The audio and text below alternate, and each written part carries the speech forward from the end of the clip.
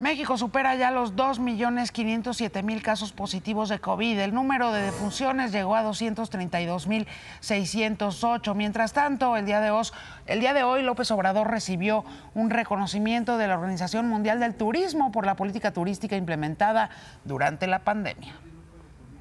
Y en Chiapas inaugura el gobernador Rutilio Escandón conversación de centro de salud en Suchiate.